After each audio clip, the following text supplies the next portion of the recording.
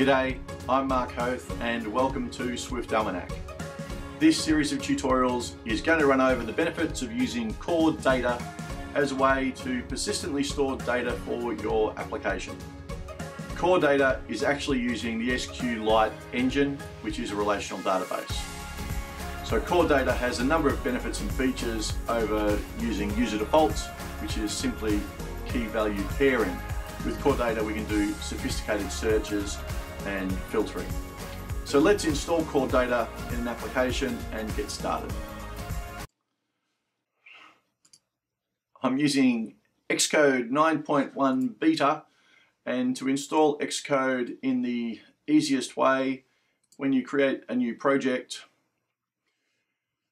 we'll create a single view app and you just check the use core data we'll create the project as a test we'll put it on the desktop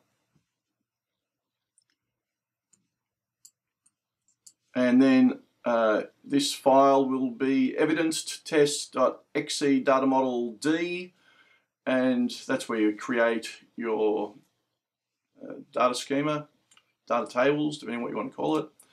And here in App Delegate, uh, the checkbox filling in has meant that import core data has been added to the top of the App Delegate file, and there are these two uh, additional things added. So the first one lazy var persistent container is obviously a property um, for the persistent container.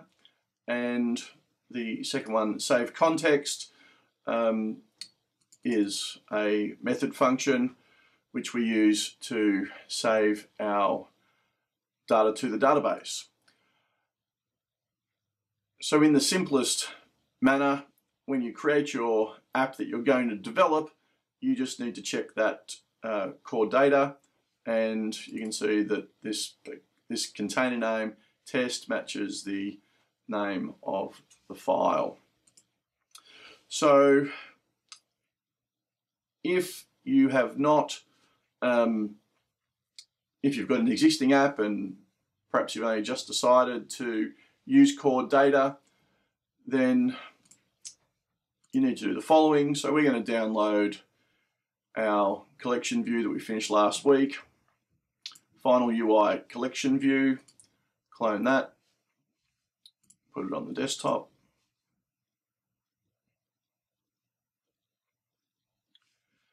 As you can see in our model, we don't have um, our, our data model file, so we just go new file, and then down here there's a core data file. There's one that says data model, that's the one we want, and there's one that says mapping model. So we choose data model, and we want to call the file the same as the project so we'll call it final we'll create that and we get our data model file which all looks good and then we go into app delegate and we need to import core data and we go back to the project we previously made we just copy and paste the property and method.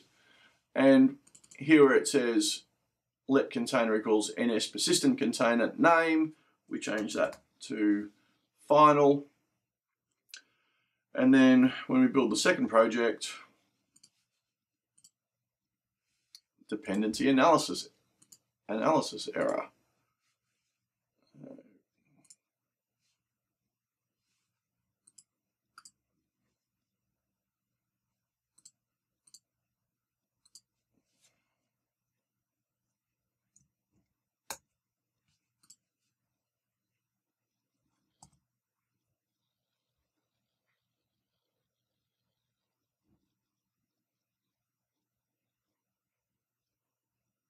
Yes, there is a minor bug there.